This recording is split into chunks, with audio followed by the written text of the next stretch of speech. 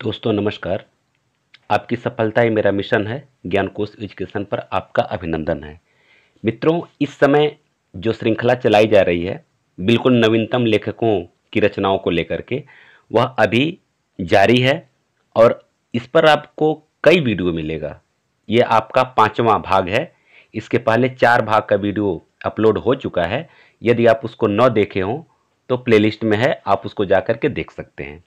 और प्लेलिस्ट में कई फोल्डर मिला करके आपको 300 से ज़्यादा वीडियो मिलेगा, जो कि आपके परीक्षा के लिए बहुत इंपॉर्टेंट है। और यहाँ से टीजीटी का और पीजीटी का लगभग कंप्लीट कोर्स तैयार हो चुका है। अब बीच बीच में जो बिल्कुल नवीनतम रचनाएँ हैं, जो लग रहा है कि परीक्षा के दृष्टिकोण से बहुत इंपॉर्टेंट है, उसको मैं अपलोड कर रहा हूँ। क्योंकि 2021 का जो परीक्षा है, हर किसी को सोचने के लिए बाध्य कर दिया है कि पेपर का पैटर्न कहाँ से और किस तरह से आएगा। यह एक बहुत बड़ा चैलेंज है। तो उसी चैलेंज को दूर करने के लिए हम एक प्रयास कर रहे हैं और निसंदेह आपकी सफलता के लिए यह मिल का पत्थर साबित होगा।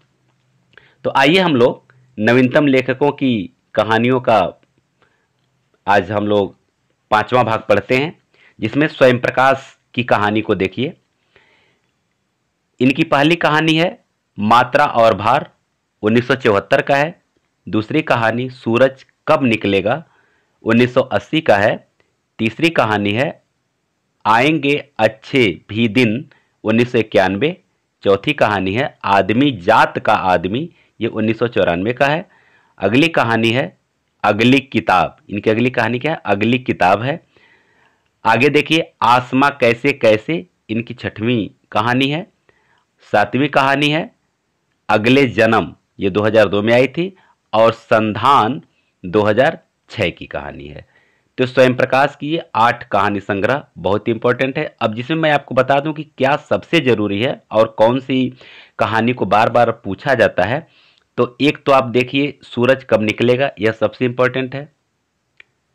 आएँगे अच्छे भी दिन, ये भी इंपॉर्टेंट है। आसमा कैसे कैसे ये तीन कहानी को खूब बढ़िया से तैयार कर लीजिएगा। सेवाराम यात्री। सेवाराम यात्री की कहानी है, जीनियस की दुम। अनासक्त, दूसरी कहानी। तीसरा है, दूसरे चेहरे, उन्नीस सौ इकहत्तर का है। केवल पिता, उन्नीस सौ अठहत्तर का। अकर्मक क्रिया उन्नीस सौ इक्यासी का। तो ये पाँच कहानी संग्रह सेवाराम यात्री का है। इसमें जो इंपॉर्टेंट है वह क्या है? देखिए, जीनियस की दुम, ये इंपॉर्टेंट है। केवल पिता और अकर्मक क्रिया। ये तीन कहानी जो है, काफ़ी इंपॉर्टेंट है। आप इसको बढ़िया से तैयार कर लीजिएगा सन के साथ। आगे, धीरेन्द्र अस्थाना। धीरेन्द्र अस्थाना की जो कहानी है, पहली कहानी, लोग हाशिए पर अस्सी में आई थी, आदमखोर बयासी की है, मुहिम चौरासी की है खुलिया सिमसिम इसका सन नहीं ज्ञात है। विचित्र देश की प्रेम कथा उन्नीस सौ अठासी का है, जो मारे जाएँगे 1990 का है। ठीक है ना? अब इनमें सबसे इंपॉर्टेंट क्या है? अब ये देखिए, इनमें जो इंपॉर्टेंट है, लोग हाशिए पर, इसको इंपॉर्टेंट लगा लीजिए। खुलिया सिमसिम, इसके पहले पूछा जा चुका है, इसको भी देख लीजिएगा। और आदमखोर, ये तीन जो है कहानी, ये काफ़ी महत्वपूर्ण है, धीरेन्द्र अस्थाना का। अगला देखिए। अब्दुल बिस्मिल्लाह। अब्दुल बिस्मिल्लाह की कहानी जो है, टूटा हुआ पंख। ये है, इसके बाद कितने कितने सवाल। ये चौरासी का है। रैन बसेरा रैन बसेरा उन्नीस सौ नवासी का है। अतिथि देवो भवा 1990 का है। रफ रफ मेल 2000 का है। तो इसमें इंपॉर्टेंट क्या है ये जानिए। रफ रफ मेल तो बहुत इंपॉर्टेंट है। अति देव भाव इसके पहले पूछा भी जा चुका है, ये दोनों कहानी पूछा जा चुका है। और ऊपर आइए, कितने कितने सवाल? ये तीन आप इनकी कहानियों को खूब बेहतर ढंग से तैयार कर लीजिएगा। अब्दुल बिस्मिल्लाह का। आइए नरेंद्र कोहली की कहानी को हम लोग देख लेते हैं। इनकी जो कहानी है, परिणत है। परिणत, जो उन्नीस सौ उनहत्तर का है। कहानी का अभाव, ये 1977 का है। दृष्टि देश में एकाएक, ये उन्नीस का है। संबंध 1980 का है और शटल उन्नीस सौ बयासी का है। तो नरेंद्र कोहली का ये कहानी है और इसमें अब इम्पोर्टेंट क्या है? इसमें परिणत तो इम्पोर्टेंट है, पूछा जाता है, ठीक है ना? कहानी का अभाव इम्पोर्टेंट है। ये दोनों आप बढ़िया से तैयार कर लीजिएगा। ठीक है ना? आइए, बटरोही की बात अगर हम करते हैं तो बटरोही की कहानी अक्सर पूछा जाता है। देखिए, इनकी कौन कौन सी कहानियाँ हैं और कौन इंपॉर्टेंट इसको मैं आपको बाद में बता दूँगा। दिवा स्वप्न, ये 1978 का है। सड़क का भूगोल 1985 का है। आगे के पीछे, उन्नीस सौ नवासी का है। अनाथ मोहल्ले का ठुलदा 1990 का है। हिडिम्बा के गाँव में 2000 का है। इसमें जो इंपॉर्टेंट है, वह क्या है? हिडिम्बा के गाँव में सबसे इंपॉर्टेंट है, पूछा भी जा चुका है इसके पहले। अनाथ मोहल्ले का ठुलदा भी इंपॉर्टेंट है, यह भी पूछा जाता है। सड़क का भूगोल, ये तीन कहानी बटरोही का सबसे इंपॉर्टेंट है।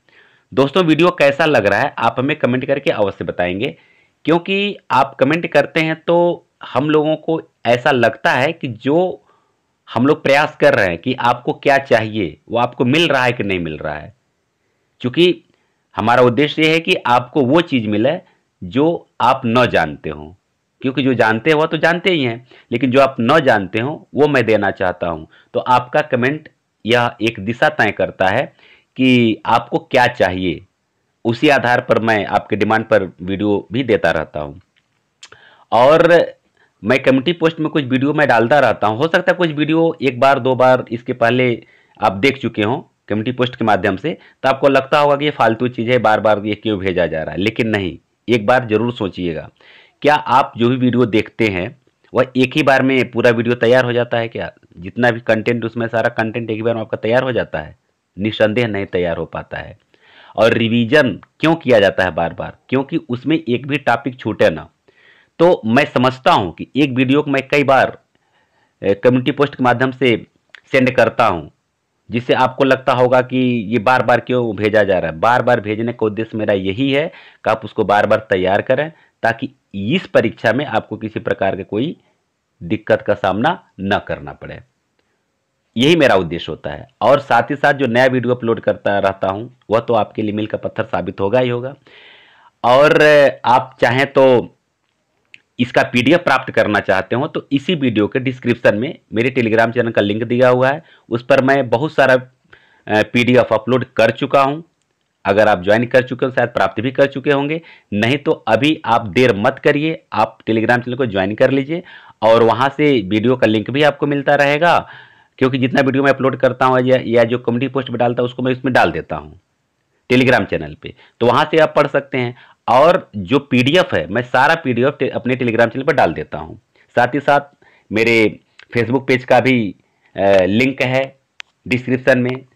और भी कई वीडियोस के, महत्वपूर्ण वीडियोस के या फिर डायरेक्ट प्लेलिस्ट का ही, जो इम्पोर्टेंट प्लेलिस्ट है, उसका भी मैं लिंक डाल दिया हूँ। तो वहाँ से आपको मतलब तैयारी करने का अच्छा माध्यम मिल जाएगा। तो इसके लिए आप जो है कि उस डिस्क्रिप्शन बॉक्स में एक बार जाइए और टेलीग्राम चैनल को अवश्य ज्वाइन कर लीजिए। ठीक है ना? चलिए, आगे बढ़ते हैं। दरियाई घोड़ा। दरियाई घोड़ा जो है किसका है? उदय प्रकाश का है। उदय प्रकाश की एक कहानी है, ये पूछा भी जा चुका है। तिरिच, यह भी पूछा जा चुका है, काफ़ी इंपॉर्टेंट है। और अंत में प्रार्थना, उन्नीस सौ चौरानवे का है ये। पाल गोमरा का स्कूटर ये भी पूछा जा चुका है, उन्नीस का है। पीली छतरी वाली लड़की, यह भी काफ़ी इंपॉर्टेंट है, पूछा जा चुका है। दत्तात्रेय का दुख 2002 का है और मोहनदास 2010 का है। तो देखिए, ये उदय प्रकाश बहुत इंपॉर्टेंट कहानीकार है, बहुत ही महत्वपूर्ण है। जिसमें अब देखिए जो जो कहानी पूछी जा चुकी हैं, इसके पहले वह, मैं आपको बता दूँ, दरियाई घोड़ा, तिरिच, पाल गुमरा का स्कूटर और पीली छतरी वाली लड़की। ये चार कहानी तो पूछा जा चुका है इसके पहले के परीक्षाओं में। तो आप इसको बढ़िया से तैयार कर लें ताकि कोई दिक्कत आपको ना हो।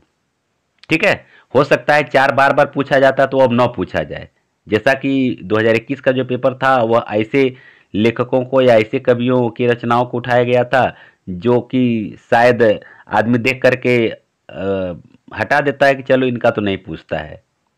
लेकिन अब की इस बात को ध्यान में रख करके तैयारी आपको करनी है, क्योंकि वहाँ से भी पूछा जा सकता है, या कुछ ऐसे लेखक जिनकी कहानियाँ काफ़ी प्रसिद्ध हैं, वो बार बार पूछी जाती हैं। तो पेपर सेट करने वालों को यानी आयोग को पता भी होता है कि हाँ ये तो बार बार पूछा जा चुका तो बच्चे तैयार कर लिए होंगे।